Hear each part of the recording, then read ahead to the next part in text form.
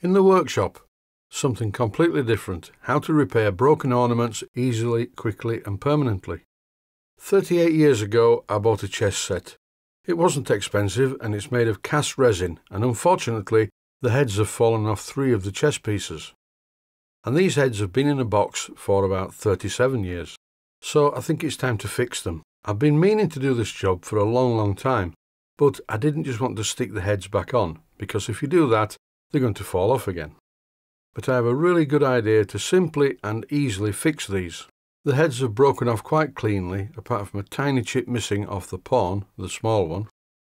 So if I'm very careful with this job, I should be able to make an almost invisible repair. The first thing to do is to drill a hole in the body of the figure. In this clip I'm drilling the hole in the top of the body of the figure using a 3 16 of an inch diameter twist drill. Alternatively you could use a 5mm twist drill. The basic idea is to drill a hole in the body and drill a hole in the head, and if the holes don't line up perfectly that's not a problem, because the pin that I'm going to fit in these two holes is not going to be 5mm or 3 16 of an inch in diameter, it's going to be considerably smaller than that. As I'm drilling the holes in the chess pieces, by the smell of it, I think they must be cast in polyester resin. In this clip, I'm showing the drilling of the hole in the head. The head of the chess piece, not my head. You may be thinking, why am I doing an in the workshop feature on repairing chess pieces? Well, there's a couple of reasons that people may find this useful.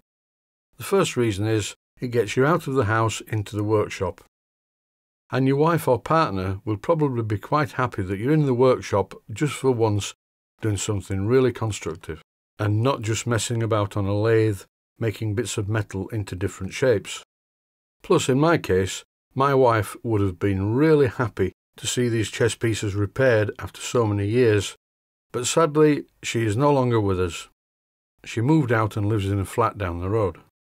I'm using a vacuum cleaner to get rid of all the dust that's been generated by the drill.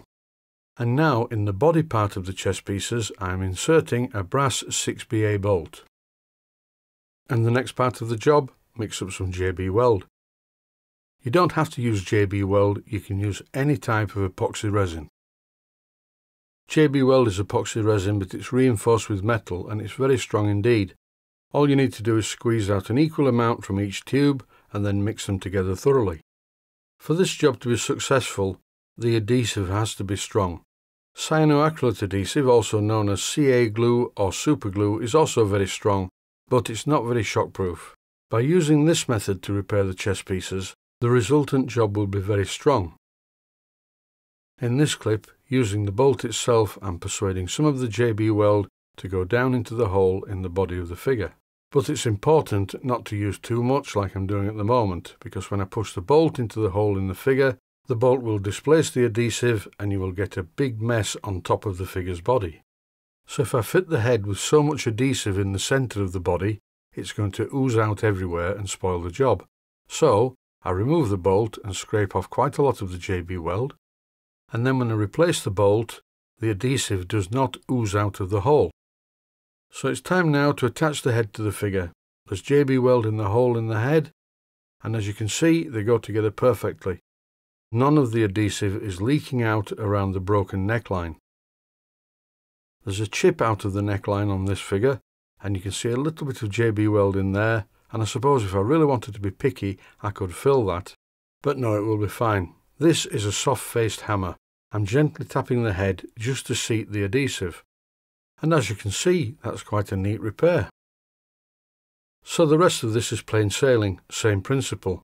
This is one of the taller figures, JB weld in the hole in the neck, JB weld in the head, and once again I've put too much JB weld on the joint.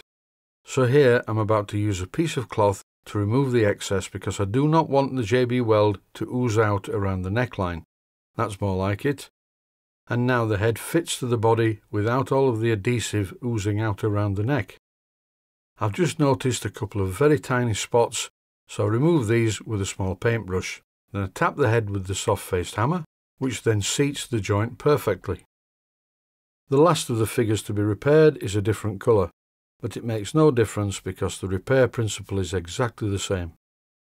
The crack line at the back of the neck was a little bit more visible on the darker coloured piece.